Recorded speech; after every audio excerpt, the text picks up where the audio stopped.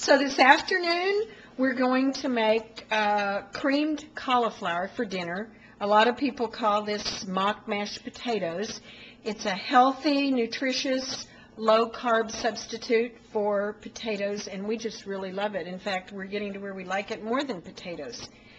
I usually use a large head of cauliflower, but I couldn't find large heads this week, so we're going to use two heads of ca- cauliflower. And the first thing you're going to want to do is go in here and take the leaves off.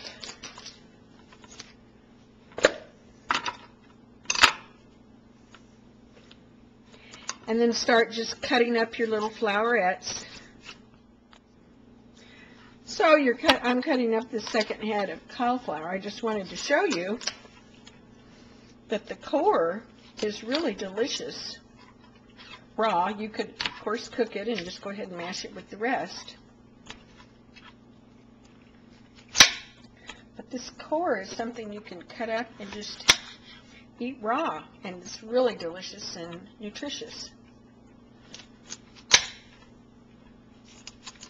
So once you get your heads kind of cut up in a uniform or more or less size, you're going to put them in a steamer, and now you're going to steam them until they're pretty soft. So now I've cooked the cauliflower, and as you can see, it's pretty soft. And to that, I'm going to add just a little broth. This is uh, a broth mix I get at Costco. It's called Better Than Bouillon, Reduced Sodium Chicken Base. There's 76 servings in this jar. This jar will make 19 quarts. Once you open it, you do have to keep it refrigerated, but you just add this broth mix to water. A teaspoon will make and will make eight ounces of uh, broth.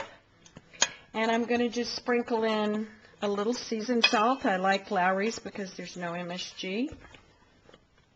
I'm going to add a little pepper.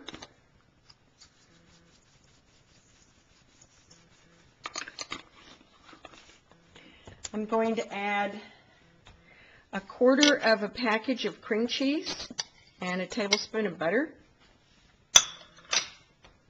And now I'm just going to mash all this up together, just like you would potatoes. We're not going to really mash it to where it's a creamy consistency because personally we like it with a few lumps in it. But if you wanted to mash it to a creamy consistency, you certainly could.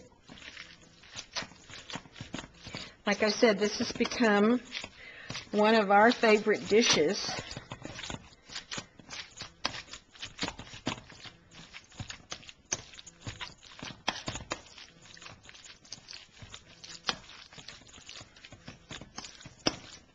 So after you've mashed it,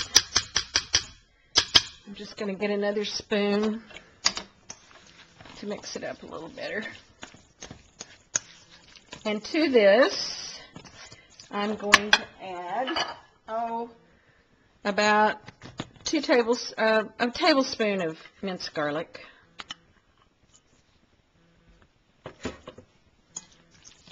Mix that up.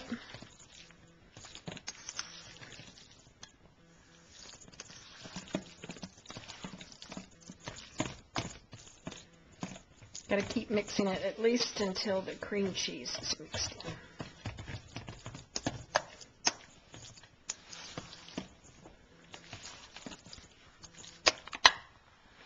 So now that I've got my cauliflower all mixed up and mashed, I'm going to add some cheddar cheese. I'm going to guess that's about a half a cup of cheddar cheese.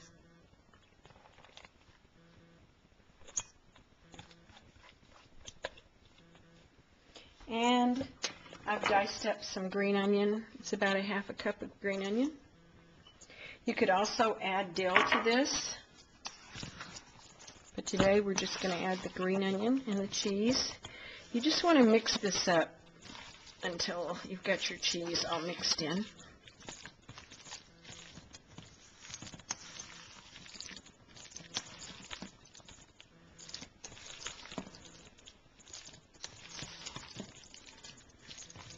And you could actually have a little more cauliflower in here if you liked. Uh,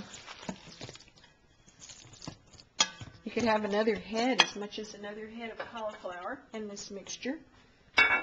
It's really great warmed over, so we usually make quite a bit. Now I'm going to put it in a greased baking dish.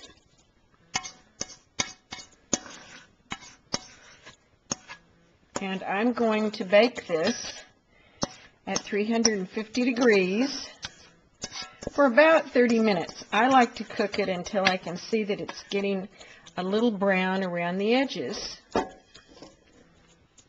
Like I said, you could certainly put more cauliflower in this dish and just keep the same amount of cream cheese and cheddar cheese, but just add more cauliflower if you like. But there, it's just exactly like twice baked potatoes, only this is twice baked cauliflower, or twice cooked cauliflower. So we'll be back when it comes out of the oven. So here we're going to take our cauliflower out of the oven. As you can see, it's nice and brown around the edges. That's the way I really like it. It's been in the oven probably about 30 minutes at 350. And there's our beautiful twice baked potatoes, only it's cauliflower.